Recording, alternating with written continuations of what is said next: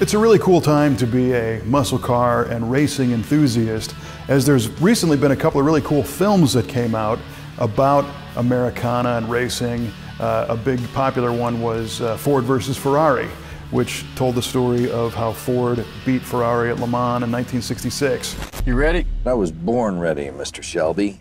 Hit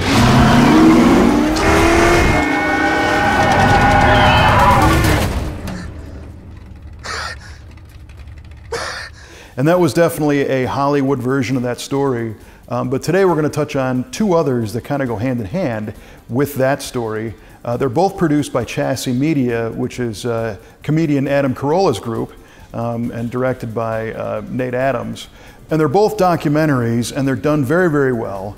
Um, the 24 Hour War uh, tells again that story of Ford versus Ferrari in 1966, the elements leading up to it, uh, and the racing action. But what's cool about it is it's told by the people who were there. So it's actually Carroll Shelby's voice and uh, um, people from back in the day. So uh, uh Parnelli Jones and uh, um, Dan Gurney and, and a lot of the uh, team members of, of Team Shelby. So if you watch Ford versus Ferrari, I would also recommend seeing 24 Hour War to see a little more historically accurate versions of, of what went down building up to that race.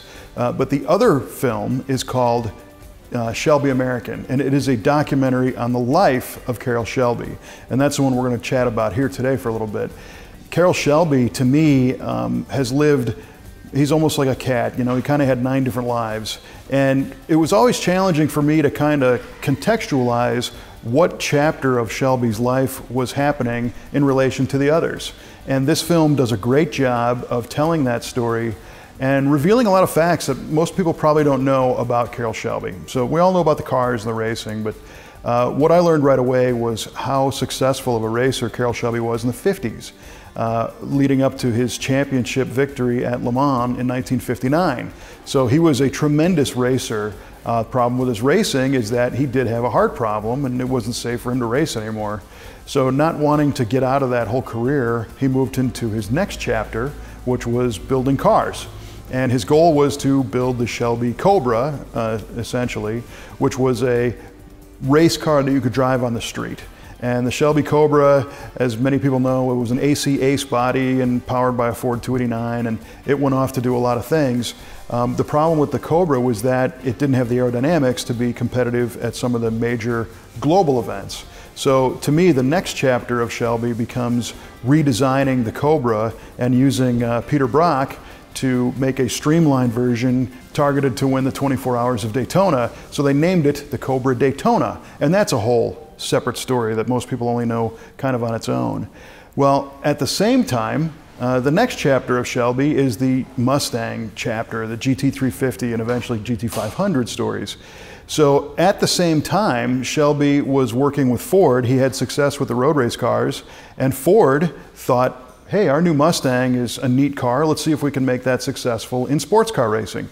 So he hires Shelby American to transform what they called the secretary's car of a basic Mustang and turn it into a track capable and eventually race winning machine. So Shelby had that iron in the fire. And that was the same time that Ford said, hey, we want to go for Ferrari at Le Mans. So uh, Ford had been developing their GT40 program, but eventually they realized they needed some help, so they tapped Shelby American again to develop the GT40 program and eventually win at Le Mans. So those three chapters between the GT40, the Cobra Daytona, and the Mustang program were all happening at the same time. And it's really amazing to think of how much management that took to uh, be successful in all of those. And he, and he certainly was. Uh, Shelby won the Manufacturers' Cup with the Cobra, Cobra Daytona. Uh, of course, they didn't beat Ferrari. And, and the, uh, the Shelby Mustang GT program was, was very, very popular too. Uh, the movie also articulates how the relationship changed, and Ford ended up taking over the GT350, GT500 production in 67, and it was far less Shelby American. It was all Ford internally. So it did a good job of telling that story. The next chapter is after Ford won Le Mans uh, repeatedly up until 69. Uh, Shelby broke off and was back to sports car racing, racing for Toyota. And it was fun because the two top dogs were uh, Toyota versus uh, Datsun or Nissan, and that team was headed up by Shelby's former designer, Peter Brock. And Peter Brock is in this movie telling that story.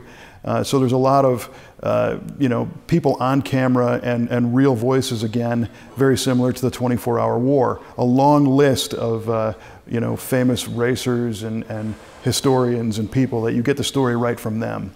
After the stint with Toyota, Carroll Shelby kind of backed out of the automobile side for a while. He was uh, uh, still perpetuating his chili business and is credited with starting the very first chili cook-off in about 1970. So there's another chapter of the Shelby story. Uh, and then we end up in the late 70s, early 80s when Shelby teams up with Chrysler and does the Shelby Daytona Z, the front drive turbo car, and of course the Omni GLH and GLHS turbo uh, little Econo boxes that were designed to perform very well and, and boost the Chrysler image using the Shelby name. And that kind of culminated with the development of the Dodge Viper, which was yet another chapter of, of Shelby's amazing history. Uh, and the Dodge Viper did its thing.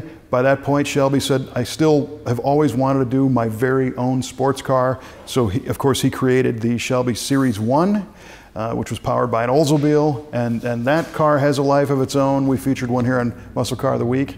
Uh, and then after that, he reunited with the Ford people, uh, and that story started and still continues today with the, uh, the flat plane crank GT350 cars and the GT500s and, and everything else. So you have all of these different um, avenues that Shelby was involved in with different manufacturers, different forms of racing, different businesses. And it's really neat how the movie Shelby American does a great job of tying them all together. So at the end of the day, you have context of, of this man's life and all of his impacts. Uh, it's, it's highly worth watching. The 24 Hour War and Shelby American are both available currently on Netflix. But if you go to chassy.com, C H A S S Y.com, you can see the 20 or so uh, automotive and racing films that this group has done. Um, all very similar in quality, uh, very engaging films. There's a great one on Paul Newman as well, I recommend.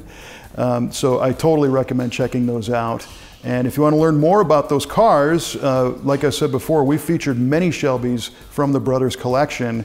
Uh, you can go to our YouTube channel, uh, search on Muscle Car of the Week, just the word Shelby, and you'll see everything from a stock GT350 uh, to a GT350R to a competition GT350R model, one that was used in a Shelby racing school.